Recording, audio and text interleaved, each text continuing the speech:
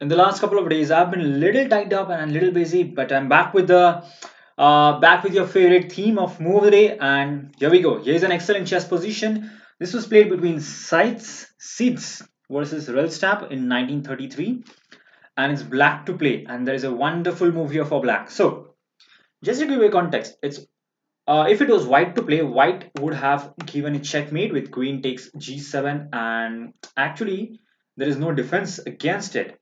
But luckily, it's black to play, and black has a beautiful and elegant move to finish the game here. So just give yourself a few minutes and try to find the move that won the game for black.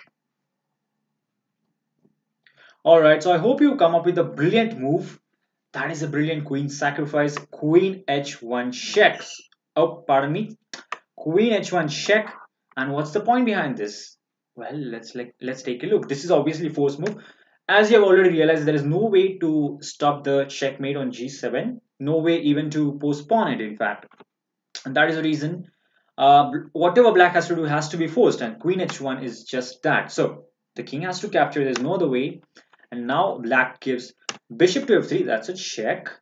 So again, the king has to move. There is no other option. And finally, we use our last piece, rook. He comes into the game rook to d1 check only option for white is to block that but we eat it up and that's a checkmate.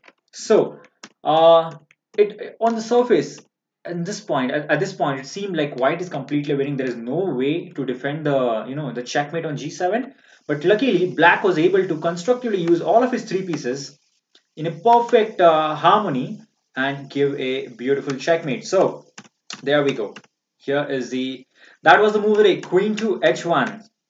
So, hope you enjoyed this. Thank you for watching and more videos are on the way. Right now, uh, I'm just looking forward to create more and more videos and uh, in fact, there'll be more than uh, two videos per day. So, thank you for watching.